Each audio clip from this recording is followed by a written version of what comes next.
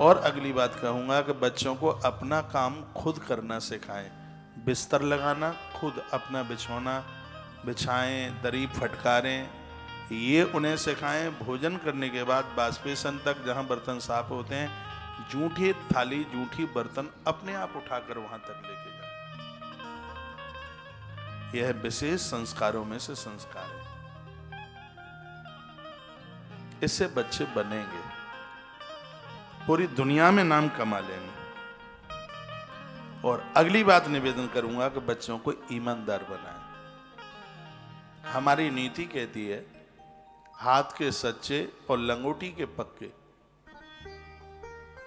ये बच्चे अपने जीवन में कभी भी फेल नहीं हो सकते। मैं अपने पिता को भी गुरु की तरह मानता हूँ। हम लोगों को उन्होंने ये दो सूत्र बहुत छोटे में दिए थे। और मैं बहुत आनंद के साथ कह रहा हूँ, मैं परमात्मा नहीं हूँ। आपकी तरह एक साधारण सा इंसान हूँ, लेकिन मैं दावे के साथ कह सकता हूँ कि हमने जीवन में कभी चोरी नहीं करी, किसी का हिस्सा नहीं खाया, किसी ने जो भी कुछ दे दिया होगा, मुझे लोग दे जाते हैं, कहते हैं कि ये महाराज जी, ये बांट देना। कि कभी मन में बात नहीं आई, ये सोचा हो कि वो आदमी क्या देखने के लिए आ रहा है। अपने बच्चों को ये संस्कार दीजिए कि बच्चे ईमानदार बने। ईमान तो इस तरीके से है जैसे 108 मनके की माला में बीच में सुमेरु दमकता हुआ हीरा। ईमानदारी कोई चीज़ और यह संस्कार जब आप देंगे बच्चे बन जाएँगे। वह बेचारी आँख से पट्टी ना बांधी होती तो शायद गांधारी का भी बेटा माँ कुंती के बेटे की तरह होता। लेकिन वो तो आँख से पट्टी बांधे हुई थी।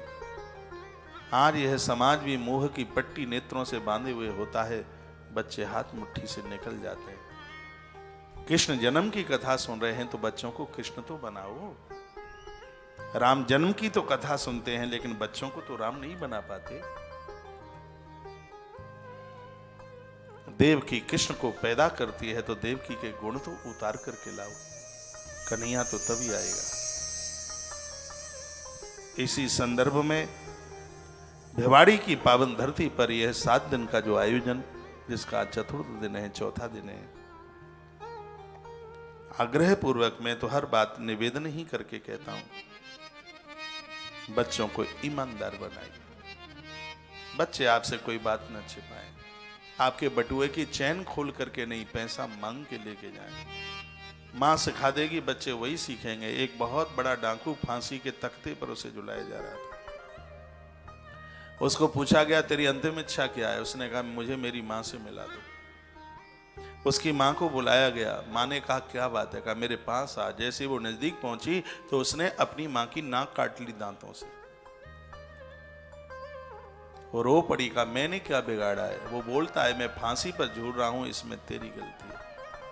मैं सब्ज़ी मंडी से साग चुरा के लाया तो ने मैंने तुझे बताया था कि मैं चोरी करके लाया हूँ, तेरे होठों पर मुस्कुराहट थी। मैं तो छोटा था।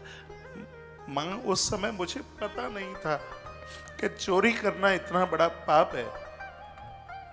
एक बार नहीं, मैं दसों बार मैं चोरी करके लाया। मैंने गैया के लिए लोगों के खेत के खेतों को उजाड़ दिया। मैं खिलियान में से कट्टे बोरे भर भर करके मैं चावलों के धानों के लेके आता, तूने कभी डांटा नहीं। मैंने अपने मित्रों की किताबें चुराई, तूने कभी डांटा नहीं।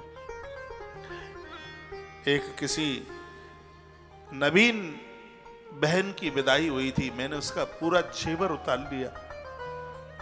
और उसका जेवर लेकर के मैं आया, तूने मुझे साबास दी। तूने कहा था, वाह बेटा, सोना लेके आया है डेढ़ किलो साबास देती हूँ तुझे। तूने कभी मुझे डांट नहीं लगाई। और उस चोरी की वजह से आज मैं फांसी के फंदे पर झूलने को जा रहा हूँ। दुनिया को बताना चाहता हूँ कि जो माँ अपने बच्चे को संस्कार न दे पाए, गलत कामों में फांसी के फंदे पर झूले तो उसके मुँह के ऊपर इज़्ज़त की नाक नहीं होनी चाहिए, इसलिए मैंने तेरी नाक को काटा